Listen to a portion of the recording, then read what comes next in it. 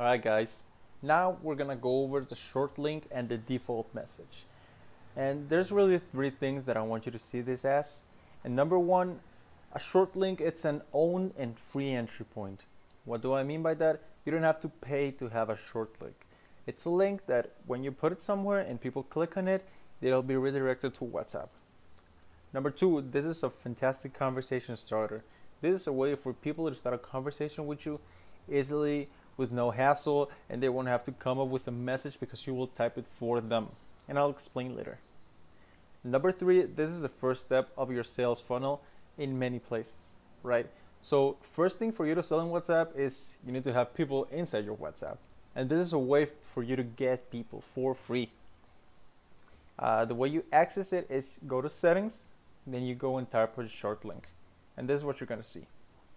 So this is the short link. There's not really much to it. Here's how you copy it and you share it.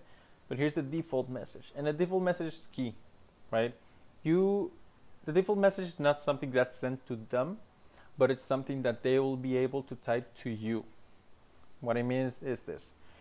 This default message is, hey there, could you please send me your WhatsApp business guide? People regularly don't have something to come up when they message you. So you type the message you want them to send you, and they'll just have to tap on send right? It's a way to start conversations, start getting people faster. So that's what it really is and what it really composes of. And next up, labels. And I'm going to explain to you why I think labels and broadcasting is one of the most important things when it comes to WhatsApp business and the most powerful tools too. So I'll see you there.